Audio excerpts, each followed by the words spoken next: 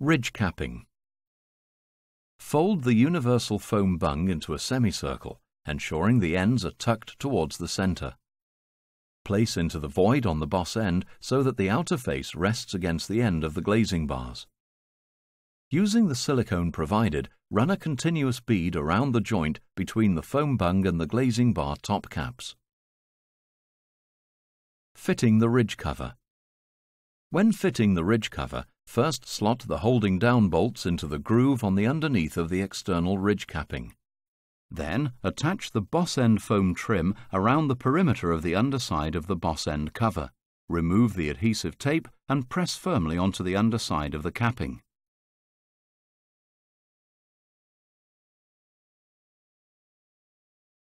Slide the finial fully onto the ridge capping as far as it'll go.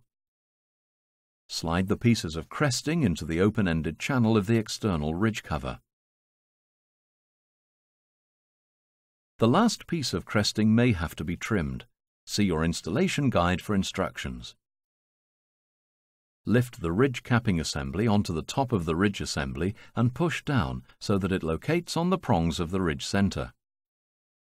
Slide the rectangular washer up the holding down bolts until it touches the ridge wings and finger tighten the nylon nut onto the holding down bolts to make the external ridge capping secure.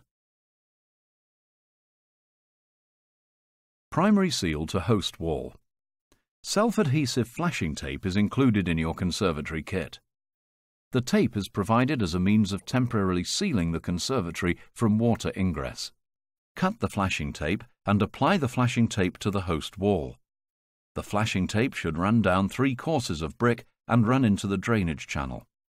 Although the flashing tape, if applied in accordance with the manufacturer's instructions, can function for many years, it's not a long-term substitute for traditional lead flashing.